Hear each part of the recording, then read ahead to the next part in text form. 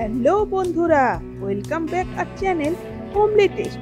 সবাইকে আগাম শুভেচ্ছা রইল বিশ্বকর্মা পুজো।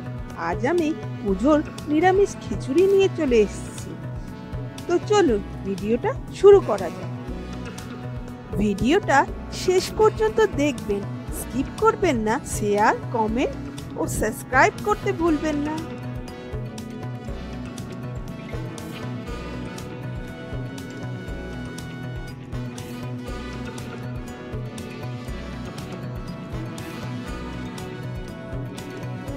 কড়াতে জিরে আর ধনে আমি গরম করে নিচ্ছি। সেটা গুঁড়িয়ে নেব খিচুড়িতে দেবার জন্য। এই রকম মশলাটা আপনারা একবার খিচুড়িতে ছড়িয়ে খেয়ে দেখবেন।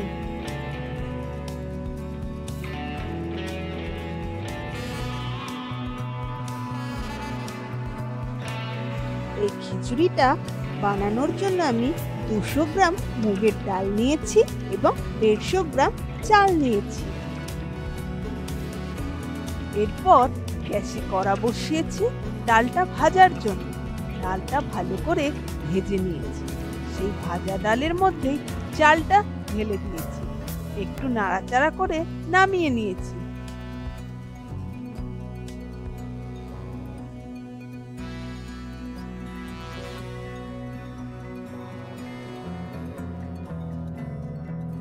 একটা হাঁড়িতে জল গরম করতে দিয়েছি। এরপর ওই ভাজা ডাল চালটা ভালো করে ধুয়ে নিয়েছি।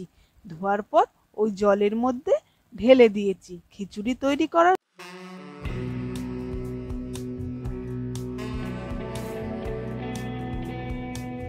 দেখুন, আমার খিচুড়িটা ফুটতে শুরু করে দিয়েছি।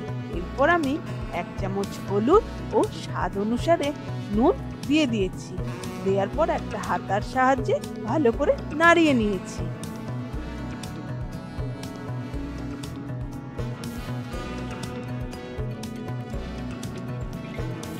এরপর গ্যাসের অন্য প্রান্তে একটা কড়া বসিয়ে তাতে তেল দিয়েছি।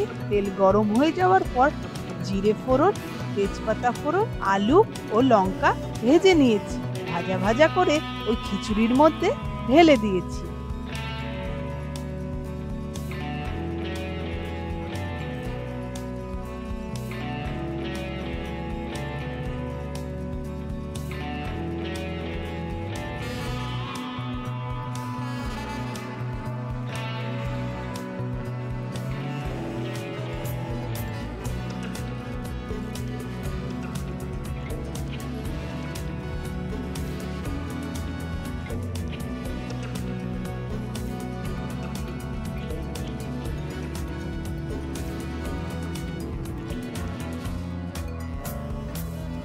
এরপর দু চামচ জিরে গুঁড়ো, এক চামচ ধনে গুঁড়ো খিচুড়ির মধ্যে দিয়ে ভালো করে নাড়াচাড়া করে নিয়েছি।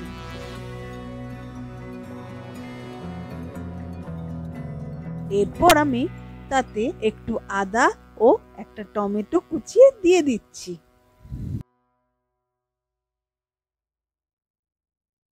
এরপর আমি তাতে সামান্য চিনি দিয়ে দিয়েছি এবং একটা হাতার সাহায্যে ভালো করে নাড়াচাড়া করে নিয়েছি।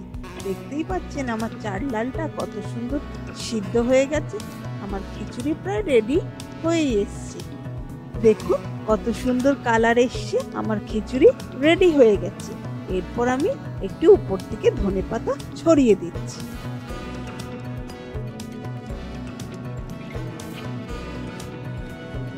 খিচুড়ি দিয়ে খাবার জন্য আমি আলু পটল বেগুন নুন হলুদ দিয়ে মাখিয়ে ভেজে নিচ্ছি।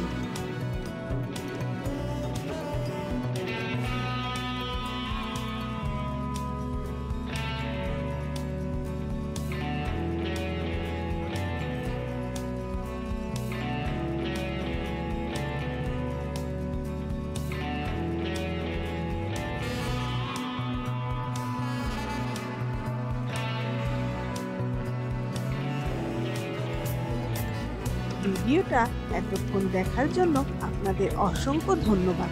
আশা করি ভিডিওটা আপনাদের ভালো লেগেছে। লাইক, সাবস্ক্রাইব, কমেন্ট করতে ভুলবেন না। আর আপনাদের আত্মীয় স্বজনদের প্রচুর প্রচুর শেয়ার করুন।